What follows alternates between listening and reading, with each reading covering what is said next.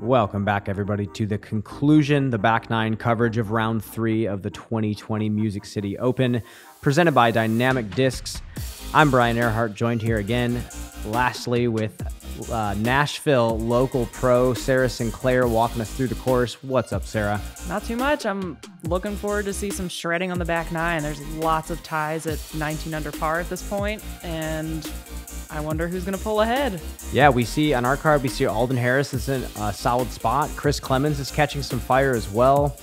And we're seeing solid play and moments of brilliance from everybody on our card. Uh, nobody is over par. No one's really struggling, but the back nine does have a lot of challenging holes that you need to capitalize on. And as you can see here, look how tight the race is. There's so many players right now that are in contention for the even the win. And uh, we have a couple of those in our card. And moving into hole number 10, what do you think we're going to be seeing out of these players today on this hole?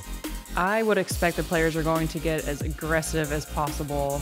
Go for the green. I, I mean, I know it's it's far, it's tight. There's a low ceiling, but this is a tough par three, and there needs to be some score separation. So I think they'll be at least going for circle two. Yeah, we have some players that are, like we said, leaving something to be desired here. So we might see something like Zach going for the big sidearm flex, trying to catch up, and that oh. looks a oh. little too flexed. Yep, a little too high. But being in the middle is totally fine.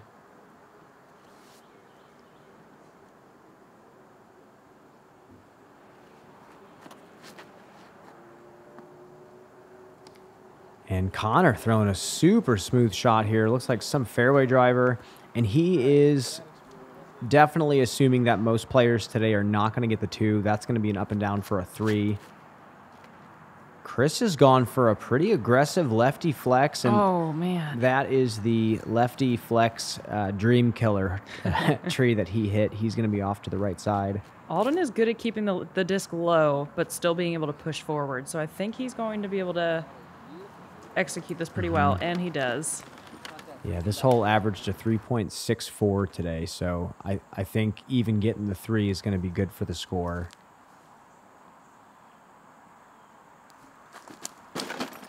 Uh-oh. Oh, boy. Oh, looks like he recovered well. Some weird reaction off that tree, but Zach's just going to have to get up and down for the four. Taking his cart down with him. From a knee. Instantly oh, says, oh no. And that's not where you want to be.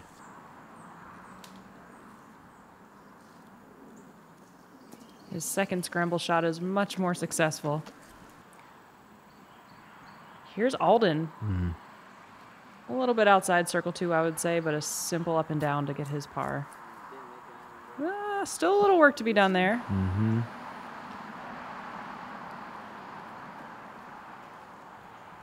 Kind of an Andrew Presnell esque uh, putt there from Connor. Yeah. Kind of a shove putt, and he's going to have no problem for the three. Dang. Zach is feeling it from circle two. And after a really messy uh, second shot running into his cart, cashes it for the three. I'm really impressed with his putting today. Yeah. Ooh, that was, that was big close. for Alden right there. That was very big. This is definitely a hole where a bogey is not out of the question. Whew. Couple questionable putts there. I don't know what it is about this basket. I guess because it's elevated, but it just seems so kind of vulnerable out in the open here, and it's it always gives me the most stress when I'm putting on it for sure. Most definitely. and we go from that to probably the least stressful hole in the course, number 11. 204 foot par three. I think the only way to really screw this hole up is to try to get too aggressive acing it. Um, a lot of players want to throw that little flex sidearm to get up there, and then they can find themselves hitting early. Here's Zach with a pretty solid move on it. Oh, that looked great. Wow. I think that was a gator out of his hand. Maybe the other mistake here is just putting it too far and then having yeah. that having a comeback putt downhill. It's a little bit scary. Connor makes the adjustment, puts the nose up on it, Oh my gosh. and that's another 20 footer for a birdie. Alden's just going to go a little bit more simple. Straight putter, Yep. no question.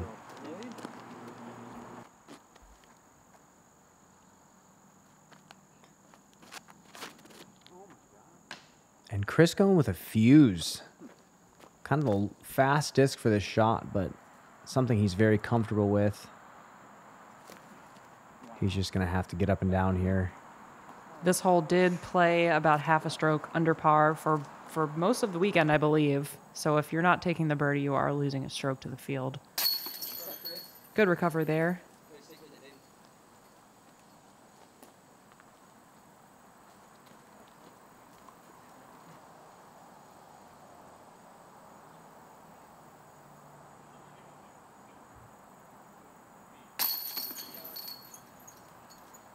Connor cashes the birdie from 20 deep. Zach from a pretty similar spot. Two almost identical ace runs from these two. Oh, putting that a little too high. After some solid circle two putting, Zach kind of has his first real putting flub of the round. And then Alden just gets another birdie. Hole number 12, 379 foot par 3, uphill, low ceiling, forced, pretty much forced distance driver flex shot uh, up the hill if you want any look at the birdie. Um, we might see some conservative play on this hole today, uh, depending on if the players are looking at the scores at this point. Live scoring was there for this tournament, um, so you never know who you know what we're going to be seeing here. Here's Connor. Yeah, if you're feeling the pressure, I would say this hole is pretty anxiety inducing. You've got to keep it in the middle, but also push forward. Yeah, it looks like Connor was Yeah. con- just trying to take a three. That's a smart play. Won't necessarily win the tournament twoing this, but you could lose it by fouring this.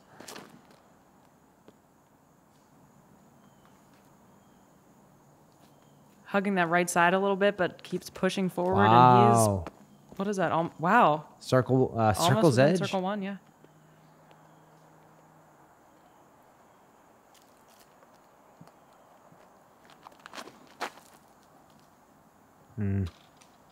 Just skies it a little bit, hoping for some good fortune.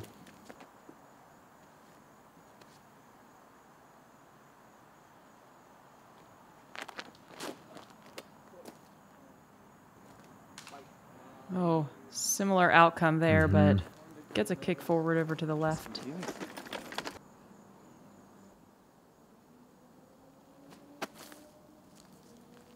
Oh, that's a touchy shot up the hill Oh, that he executes beautifully. Little Annie putter out of the hand from Zach.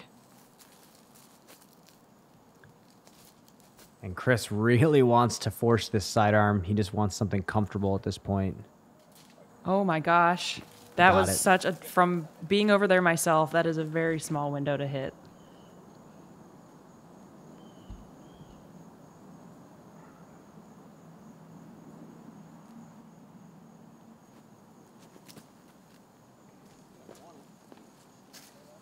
Going to be a tap in three for Connor. And here's all the different Circles One's Edge. Hmm. Oh, Just right. maybe feeling the pressure a little bit.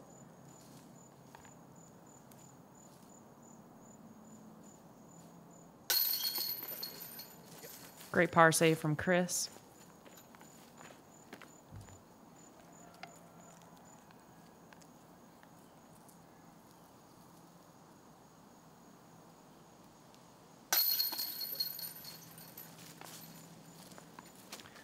Alden's going to stay at three under par,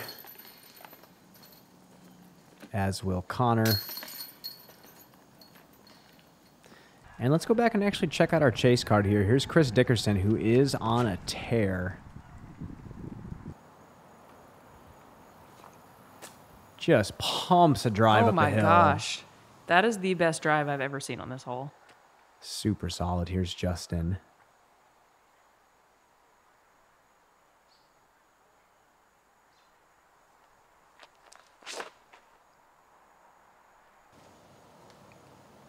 Oh, he gets caught up a little bit high, landing left. Hopefully, he'll have access to that little window that we saw Chris throw through.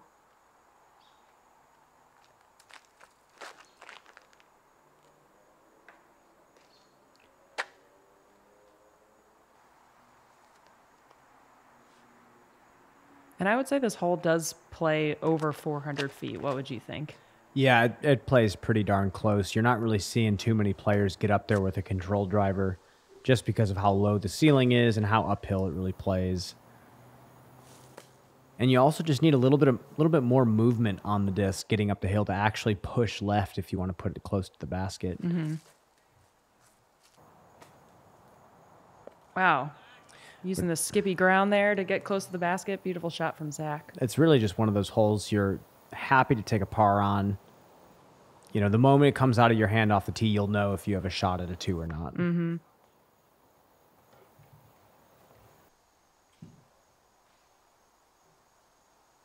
I really hope Chris can convert for this, This is too. a big two. oh my gosh. left side, actually right side chain out for Dickerson. And as you can see, he's at 20 under par. He's making a move here.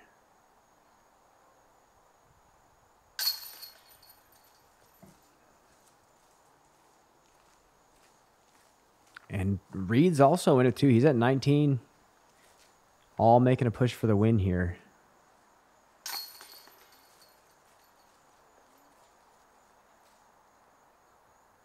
That is one of the benefits to live scoring that you can kind of keep an eye on what's happening around you. Absolutely. And you can also look at, you know, previous scoring averages on holes to see, you know, what you really think the field will do. So regardless of par, you know, you, you have a better clear picture of how you want to play the hole. and just a re- real precious friendship there with uh, Yep. Dickerson and Melton.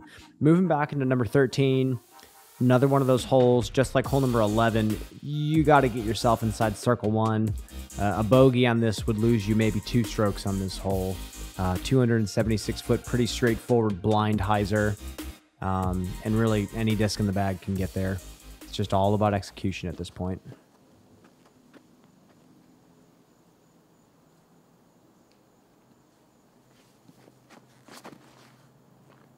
Big hyzer out of the hand from Connor. That looks good.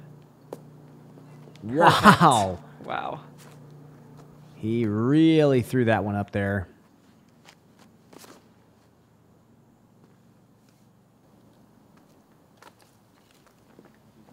Uh, looks like um, Alden got caught up a little bit early, but he'll have a pretty, pretty easy putt from circle one. Another big spike hyzer with a Firebird from Zach. Dang. And there's the perfect roll to the basket. That is a part job. And Chris going with a verdict flick.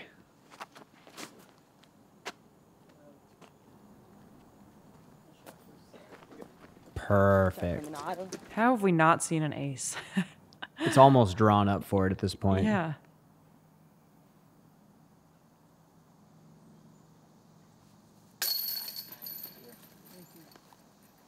Birdie for Alden.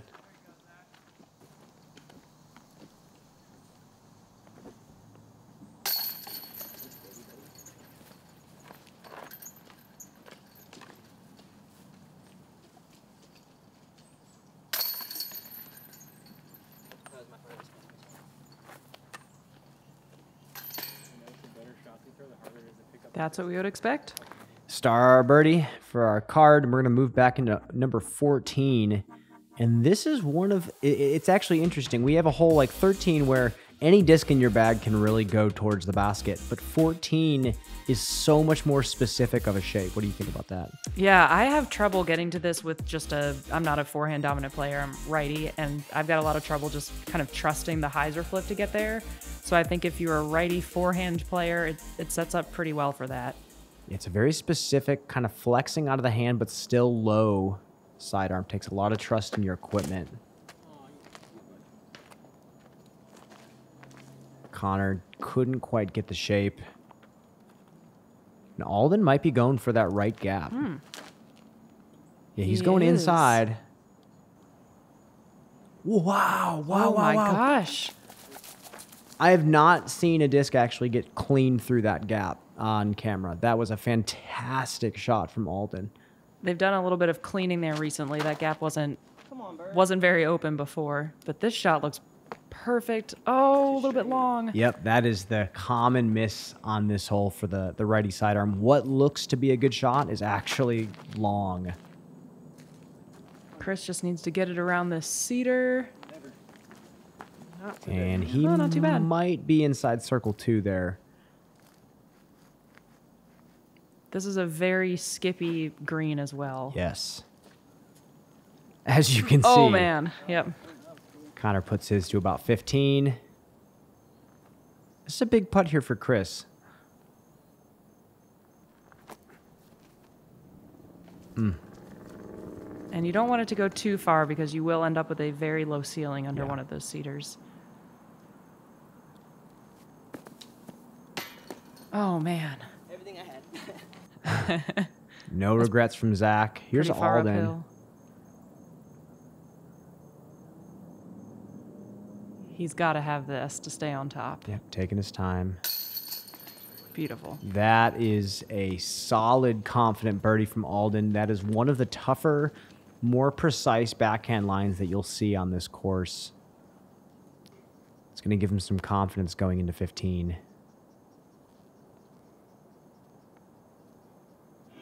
in the morning, in the morning.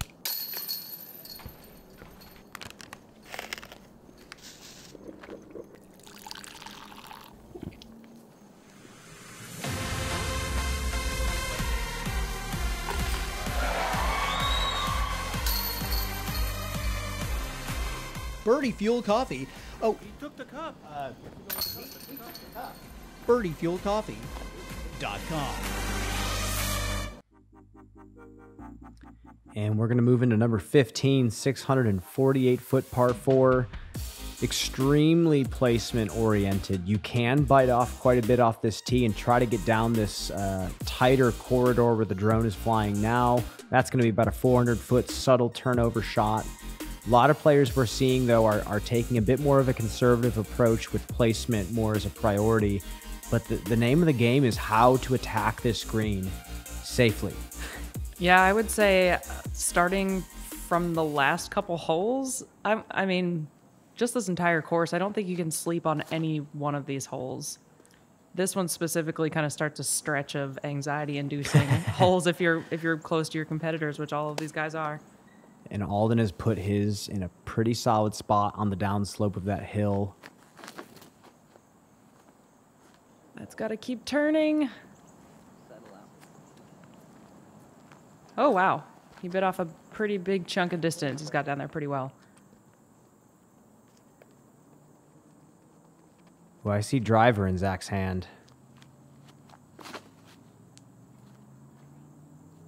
That is an aggressive move. If it can keep turning, nope. Really far in there. And he is not as far in there as he, uh, I- I think, might be thinking, but still definitely not optimal spot for a birdie. Yep, s- Oh. stands up on it a little bit too much. And that is a fortunate kick out to the Wow. middle, and he'll have a sidearm from there.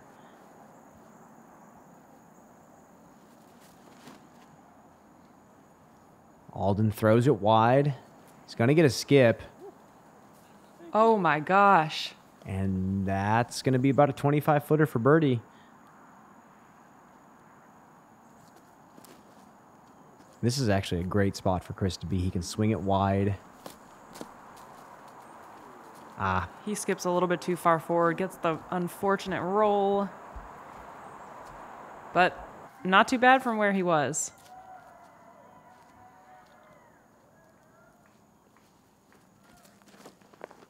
some cheers in the background for our chase card. Oh my gosh. And Connor has tuned them out and has put his inside the bullseye. And Zach is going down the road, left side. I didn't realize he was the, that far in. This is a thumber roller, I believe. In all the years I've played this course, I've never seen anyone take this route. I believe he got through just a little bit short. That roller caught oh edge Oh my a little bit too quick, but yeah, he's back in play. That was incredible. Talk about creativity. Yes. He is tapping par distance. Here's a birdie for Alden. Big putt here. That moves him to six under par, 23 under total for the event. And he's got a few holes left. Zach taps in his par.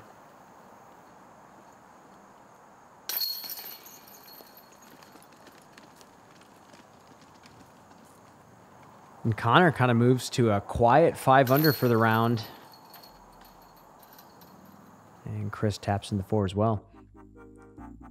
Hole number 16. Do you think the players have learned at this point what the, the proper line is? We've been seeing kind of a similar shot all week that really hasn't gotten a lot of pay, payoff, I guess you could say. Yeah, I think you said you were surprised by seeing a whole lot of flicks on this or forehands on this hole, and really it might take more of a hyzer flip, just flip up and let it glide down the the edge of the hill. I feel like Alden may be taking that approach just from what we've seen from him. And he's going roller. Oh my gosh, okay. And this could work out. Okay. All right, he's in Circle two? Circle two, yeah. Interesting. Looks like a flick with maybe a slower disc. Yeah, see, this may just burn out a little bit too early. And that's what I. That's Huh. exactly what I, I keep seeing the forehands do. Um, and again, I think Zach sees something as well.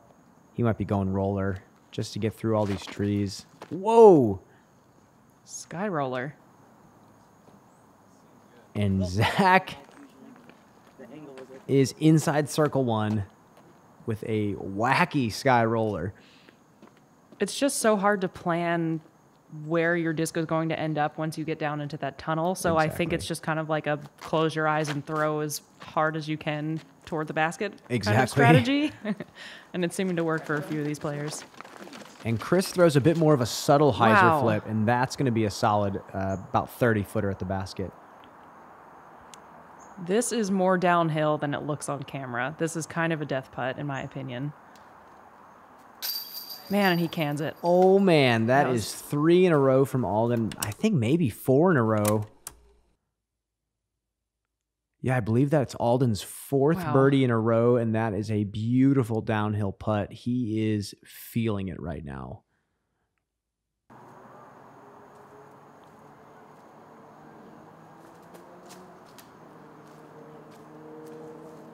Connor's just going to lay up. He'll have a nice, easy tap in three. And here's Zach for a bird. Ah, just off Oh. the tray. Can't capitalize on that great drive.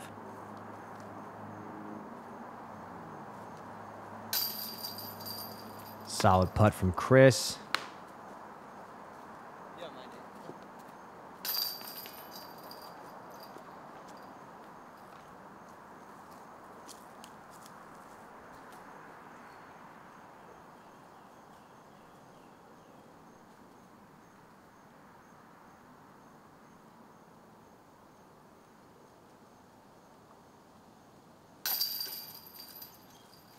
Par for Connor.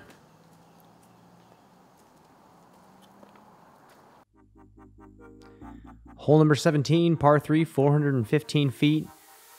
We've seen Logan Bowers go giant spike flick over the left side trees. We've seen drivers come into the green straight. We've seen putters.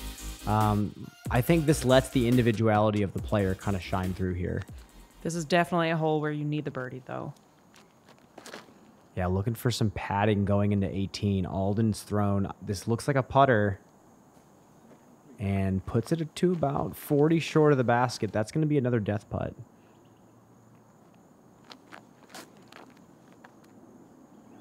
Power forehand from Chris. As long as that sits down. Oh, yeah. Wow. Such a solid shot.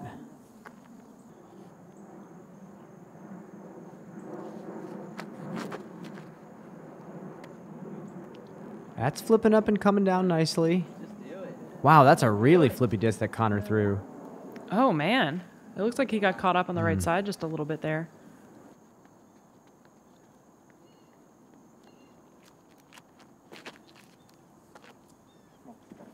Zach going slower disc, but still enough checkup to push him wide of the basket.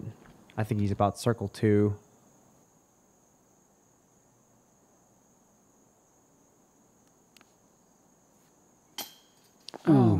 Just off the top. Fortunately, hitting the top of the basket there. Yeah, that's a scary run. Yeah.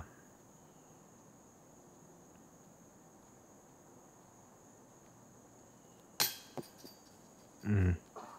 Same result. So here's Zach from about 35.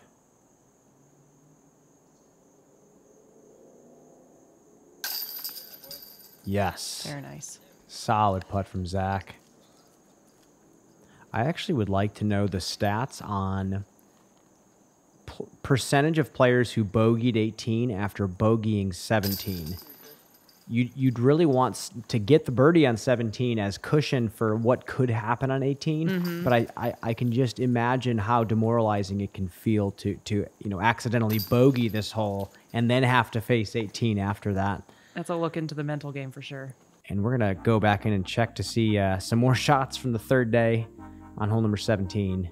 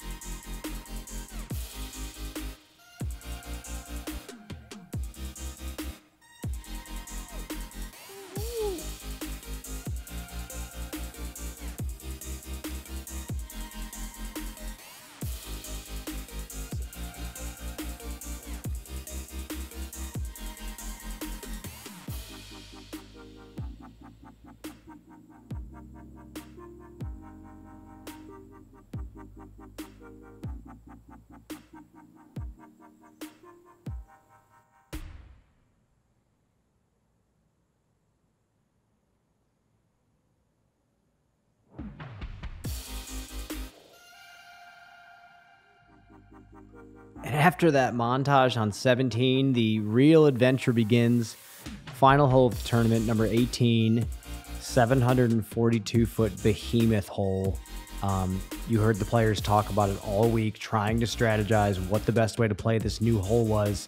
And where the drone is flying, I believe, is about 50 feet too far to the right from where the players actually want to land. This middle section is extremely hard to have a clean look at. A lot of players are trying to push a little longer and through the gap off the tee to just give themselves some look up this crazy fairway to the basket.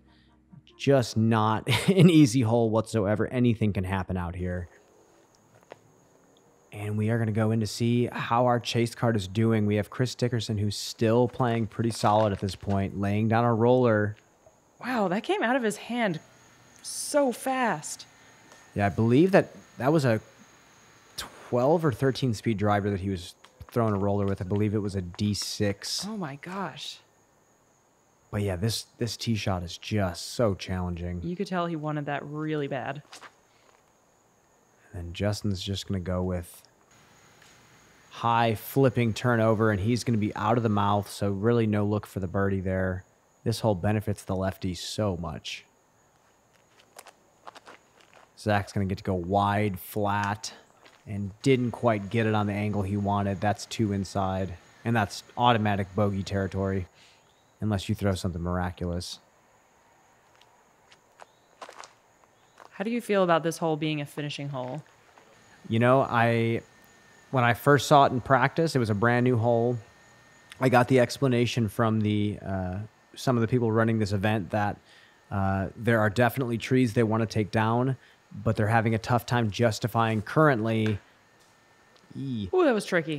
having a tough time currently justifying cutting down these beautiful old mature trees that you know uh, theoretically need to go to make the hole a little bit cleaner but they're kind of wanting at this point to let that happen naturally and we see with you know a lot of wooded courses over time with storms and wind a lot of these smaller trees fall down and shape the fairways in a different way than they'd originally planned so um, my opinion is that it's too new to have too much of an opinion. As of right now, it's just a really, really daunting finishing hole. And there is theoretically a, a, a solid way to play the hole. This is the route that you don't want to have to take. You want to be a bit more left, but unless you're Chris Dickerson, Wow. and that was insane. He totally that was that. such a good shot. But I think if the right side opens up a bit more and the left side just opens up a tiny bit more, it'll give a few more options for the player to fight for birdie, and then it'll be a really well balanced par four. But um, like the you know lo- locals were saying, I think naturally that will happen over time, and hopefully without having to manually cut down trees. Yeah. Man, Justin just squeaked by.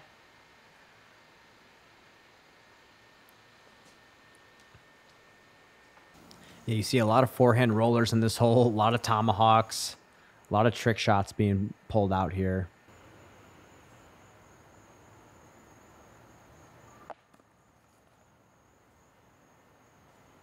Reid puts it close. And I believe is this for birdie from Chris? I believe so. Oh, and Chris hits it. Snags the Yep. birdie to finish the tournament, and that puts Dickerson at I believe twenty three or twenty four under par. Twenty three, I believe.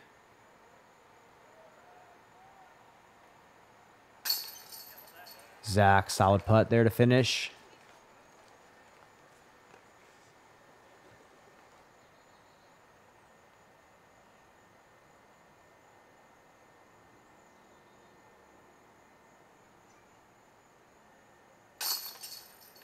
Justin finishes with a solid six down, 18 under par overall.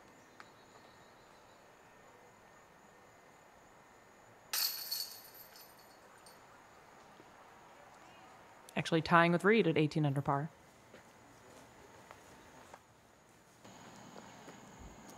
And here we go. Here's our lead card. Finishing up. Chris Clemons is going with a defender, I believe. And that looks pretty solid. Wow. So he'll be down there. That right side again is still challenging, but with his sidearm, he might be able to snake something through there.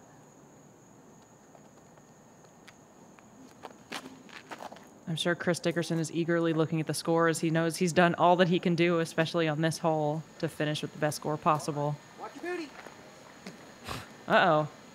And that, Don't hit my friend Tara. and this is a big hole for Alden. He, I believe, is 24 under par. And he still goes with the aggressive roller. And this, Oh, man. Yeah, still in a decent spot.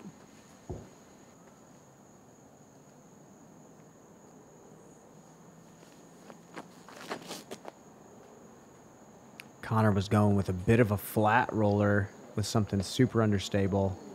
That tree just seems to get in the way for most people's mm-hmm. rollers there. Oh, and he actually Yikes. quite a bit backward. Oh, that is terrible position from there.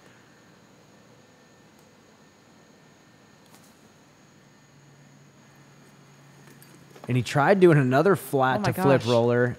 Actually puts himself to a decent spot. Should be 150 to 200 feet up to the basket. And this is, again, really important for Alden. He goes roller again. And does not get very far. This is getting interesting.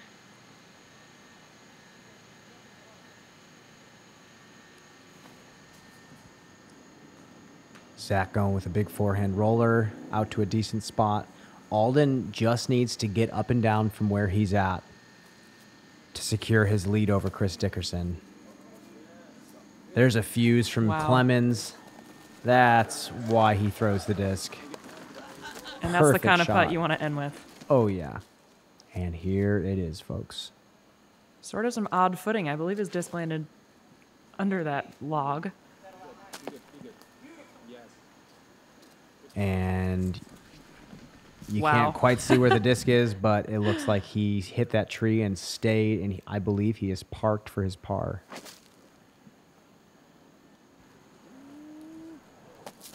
Connor with a little bit at the basket. He's going to be about 25 long.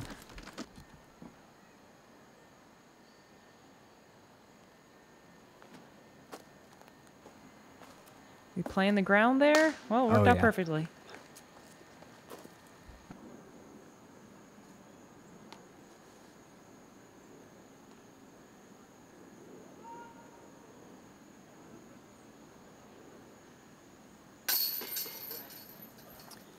Connor finishes with a five down. Solid tournament for Connor. He did receive one of the elusive USDGC spots from his finish this weekend. So, congratulations to Connor getting your ticket to the big show. Clemons finishes with seven down after a beautiful birdie to finish. And there it is Wow. some solid play. I believe there were four birdies in a row on that back stretch for Alden that really brought him back after a tough first nine. That was a nail biter. Alden Harris And out of, I believe, 147 players in this field, some of the best players in the world, Alden Harris gets his time in the spotlight. Well earned.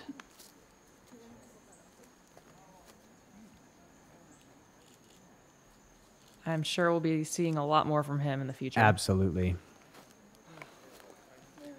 Big sigh of relief from Alden. Brittany Dickerson comes in for the hug. You know, it's just th- these players travel all year. Alden lives in his van and, and plays for the love of the game. And for him to come out on top this weekend is uh, fantastic to see. And again, like you said, we'll be seeing a lot more of him in the future. There you have it, folks. All done here. Make sure to subscribe to Gatekeeper Media on YouTube. We will continue to keep bringing you great disc golf content. I'm Brian Earhart, joined here again. Sara Sinclair. We will see you next time. Thanks for having me.